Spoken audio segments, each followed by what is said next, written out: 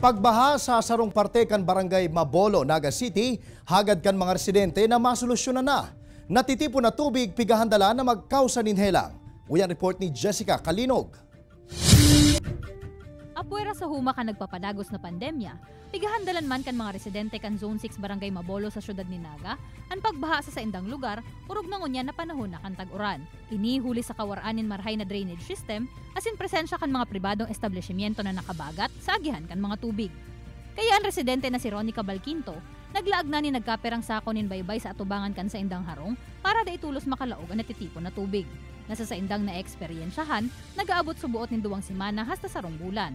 may kinigibong man kami duman na ito bagang ano motor na pansupsup yun man to kaya lang mag-ura ning duwang oras useless man giraray Apoy radigdi, pigahandalan man kan mga residente ang pagdakol kan lamok sa lugar na darakan nakatenggang tubig.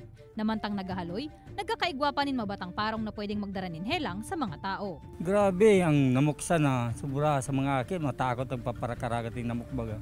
Haros magabot na sa tuhod ang tubig sa parteng ini kan barangay Mabolo Makalis ang sunod-sunod na pag-uran kan mga nakaaging aldaw. Kung sain ang mga harong, nalalaog naman in tubig. Kaya hagad kan mga residente mapakarahay na ang drainage system sa saindang lugar.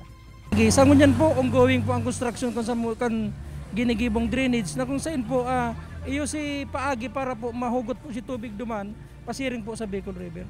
Dugang pa ni Kapitan Ramil, nasa 90% naman subuot ang natatapos sa konstruksyon kan pigigibong drainage system sa saindang barangay.